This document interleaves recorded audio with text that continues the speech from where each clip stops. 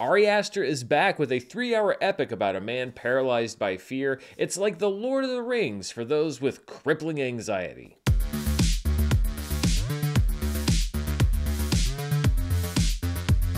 This review is brought to you by PayPal Honey. Go to joinhoney.com slash Murrell to sign up and stay tuned after this review for more info.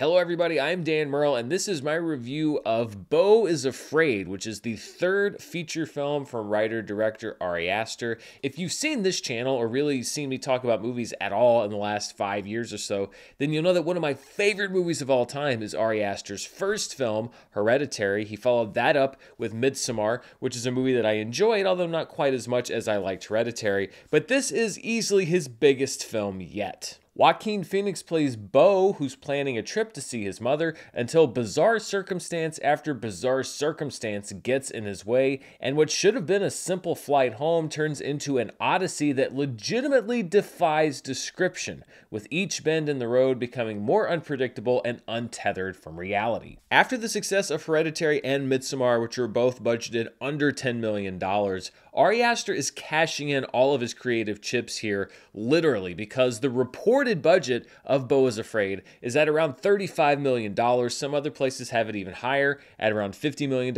Either way, this is the highest budget ever given to a film from A24. And I think that that's particularly admirable in light of the fact that A24 is extremely unlikely to recover any of that money. Is Afraid is a three hour surrealist dramedy that seems to dare the audience to stop watching, anchored by a 20 plus minute dream sequence that on its surface has little to no bearing on the plot of the movie, and that's one of the more normal parts of the last two thirds of the film. Is Afraid is going to heavily challenge Ari Aster fans. It's going to challenge fans of the usual A24 fare, the ones that know what they're getting into, and it is going to utterly alienate any poor soul who wanders in off the street looking at the trailer of the movie or even is just kind of lightly aware of the kind of movie they're buying a ticket for. If I were a theater manager, I think that I would be very clear on what my refund policy is on this movie in particular, because I think you're going to have two lines. You're going to have people waiting to pay to get into the movie, and you're going to have people waiting to get their money back. I was lucky enough to be in Los Angeles last week during Beau's Afraid's initial weekend, its four theater run, and I saw it in a crowd that was probably the peak crowd for this movie. They were Ari Aster fans, they were going to see it in IMAX on its opening weekend. They were primed and ready for the movie, and it really worked. I mean, the first third of the movie, everybody was on board. There was lots of laughter. Everyone was really digging this movie, and you could like feel in a room, almost physically feel the movie losing people as it went along. And then you get to the end of the film, and even then, I think that there was still a healthy respect for Ari Aster as a filmmaker when the movie ended, but that energy that was there at the beginning of the film had all but been sucked out of the room by the end of it, at least in my estimation. Now, commercial viability is not the determining factor when deciding whether a movie's good or not or whether it's worth your time. It's something that you can certainly look at as one aspect of a movie, but this is a thoroughly uncommercial film, just to be clear. This is the anti Top Gun Maverick. I think it's going to actively drive people out of the theater. That doesn't make it a bad film, it just makes it a challenging film. Now, I will say that if the entirety of Beau is Afraid's runtime had been able to sustain the world that Ari Aster builds for the first hour of the film, then it would have easily been one of my favorite movies of the year so far. The world that he creates at the beginning of this film is a surrealist, satirical nightmare, a well of cold, black comedy that had me and the audience I saw the movie with laughing loudly and often. But as Beau's odyssey progressed throughout the film, the space between those laughs got bigger and bigger. The story got less developed, the characters got less developed. Act 3 of Beau is Afraid is what I found to be a hodgepodge of bizarre plot twists, over the top imagery, and the culmination of what appeared to be every single one of Ari Aster's real life neuroses spelled out on screen. Beau is Afraid may well be the most expensive therapy session in the history of mankind, and unfortunately for Ari Aster, when the time is up, I'm not really sure that anything actually gets resolved. This movie is going to be a conversation piece, and I know how a lot of that conversation is going to go because people that don't like the movie are going to be told by the people who do like the movie that the reason they don't like the movie is because they don't get it or they don't understand it. And I disagree with that wholeheartedly. I understand what Ari Aster was going for, I get the tone that he was going for, even the more abstract stuff that he is doing in this film. I understand the intentions behind it. I just didn't really like a whole lot of the last two thirds of it. I respect this movie, but I can't say that I liked it as a whole. It's too disjointed and unfocused, and it repeats a lot of imagery that was already seen in Hereditary. Not in a referential way either, but in a way that kind of left me wondering whether Aster either has a limited number of images that he can think of to put on screen, or whether he is stuck on just a few of these images in his mind when he's deciding what he wants to bring to screen.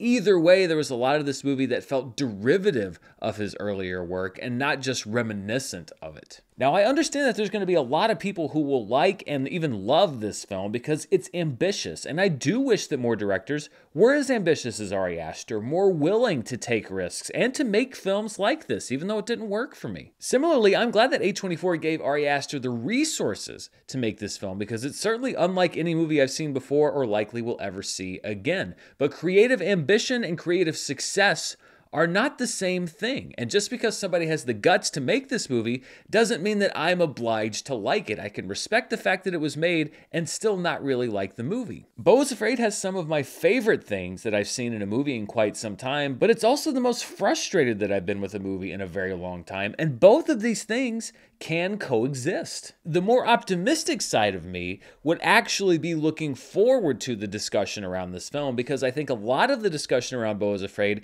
is what film criticism should be ideally. Defending the things that you like about the film, discussing the things that you don't like about it, analyzing the movie's meaning, but not in the pursuit of coming up with the quote unquote right answer about whether it's a good movie or a bad movie. Film criticism is just about talking about the movie and comparing notes and listening to other people's opinions and not feeling like yours is being attacked or that everybody's trying to sway you to one side or the other. Film criticism is analysis, it's not debate, for lack of a better word. There's no winning side or losing side. Now, the more practical side of me understands that that's probably not how a lot of the conversation about this movie will be, particularly online, but it is how it should be. We should just be talking about movies like this. That's why they exist and not feeling like we have to go to war over them one way or the other. A lot of times when we're talking about movies similar to this, David Lynch's filmography in particular, I'll sidestep the question of whether I liked a movie or didn't like the movie by saying, well, you know, it wasn't for me. And there are parts of this movie that weren't for me. However, there were parts of this movie that were very much for me. I will say that I do have some criticisms for this movie that extend beyond my own personal taste. I do think that it has a lack of focus. I do think that there's a lot of stuff thrown into this film. I didn't really see much of a pattern to this. It really did seem like Ari Aster got the ability to make a three hour movie and threw in every single thing that he wanted to into the mix, but the soup didn't come out just quite right. And it kind of broaches another topic that is, I think, a little uncomfortable. And I know that a lot of people disagree with me here, which is that sometimes I think that you do need to have somebody in the mix that has the power to tell a director no. I don't think that unadulterated creative freedom always produces the best film. This movie reminds me a lot of Damien Chazelle's Babylon. Both movies are about three hours long. Both of them are directed by young directors who have had success with their earlier films that were able to take that success and say, hey, basically, I'm going to make the exact movie that I want to make. And I think that both movies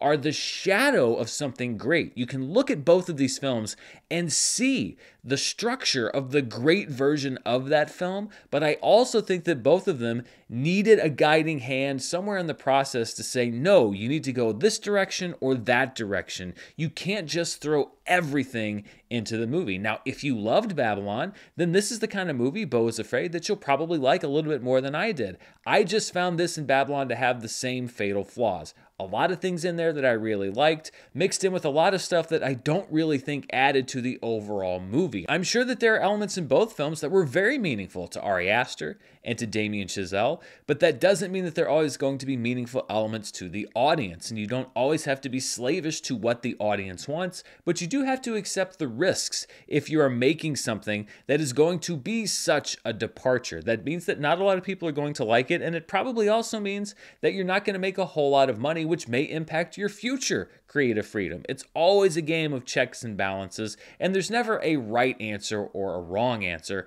I just think that both of these movies, and is Afraid in particular, felt a little imbalanced. Now, from a technical standpoint, Ari Aster remains a viscerally exciting filmmaker. Teaming once again with cinematographer Pavel Pogorzelski, Aster's decision to shoot the film in the 185 to 1 aspect ratio and A24's decision to book the film in select IMAX theaters creates an immersive world with dark shadows and pops of color that drive home the unreality of what you're seeing, capped off with a sound mix that keeps you off kilter in key sequences. This may not be Aster's most successful film from a storytelling standpoint, but I do think that it is easily, including Hereditary, his best technically made film. Joaquin Phoenix is one of our most fearless actors, and he fully commits to the character of Beau throughout the movie. This feels like an experimental role for him as an actor, so I guess it's really no surprise that he signed on. His performance varies from relatable to broad, from method to madness, if you will, often on a dime. You don't have to admire the film to admire his work in it. There's also a rotating cast of supporting actors, including Nathan Lane, Parker Posey, and Amy Ryan. The less said about their characters, the better, as the shock behind every turn of Beau's journey is a big part of the movie's appeal. And so now it gets boiled down to the question that I really try to answer in all of my reviews, which is Do I think that is Afraid is worth your time? Well, that's a tricky question because it is a three hour long movie, which is a big commitment whether you're seeing it in a theater or deciding to wait at home and see it on streaming. My first piece of advice would be that if you do plan to see the movie, I would see it in a theater because, as I mentioned, it has a lot of technical merit and the sound mix, especially, is really great in a theater. Otherwise, I fall back on what I almost always say when people ask me if they should see a movie, which is that you're the best judge when it comes to your own tastes. I'm just here to share my thoughts and feelings. And I have to say that Ari Aster remains one of my favorite working filmmakers today, and I was awed by parts of what I saw in Beau is Afraid, particularly in the first act. I just wish there had been more of those parts. I wish that I had been more immersed in it. I don't think that it all comes together very well. If you want to call it a failure, I'd say it is a noble failure, but ultimately for me, a failure nonetheless. So I guess it would not necessarily be a recommendation for me on Beau is Afraid, but it is one of the most interesting films out there. So I'm certainly not going to discourage you from seeing it. So, you know, yeah, uh, maybe it is worth your time if you want to see what's happening in the world of cinema today, because as I said earlier, you're never going to see a movie quite like this one. And it is one of the things that, I mean, obviously I'm the most torn on that I've seen in a very long time. So maybe you should just go see it and make up your own mind. I mean, that's really my advice anyway.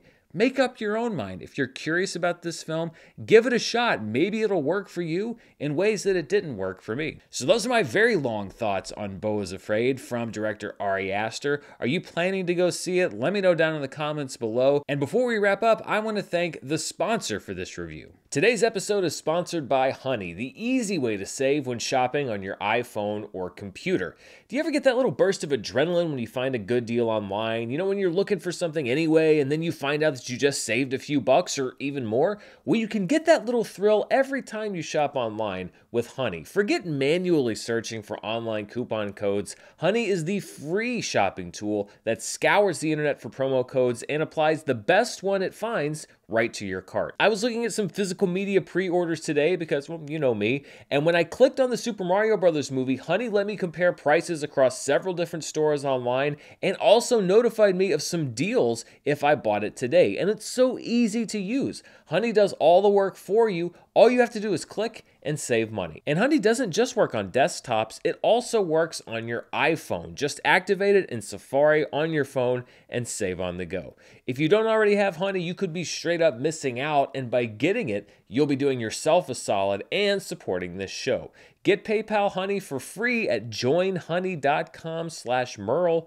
That's joinhoney.com slash Murrell, M-U-R-R-E-L-L. Thanks to Honey for sponsoring this review. Find out more about them in the description below. And thanks most of all to you for spending part of your day here with me. Stay tuned right here on the channel for more movie news, reviews, box office charts, and more. Until next time, stay safe, and I'll see you then. Bye.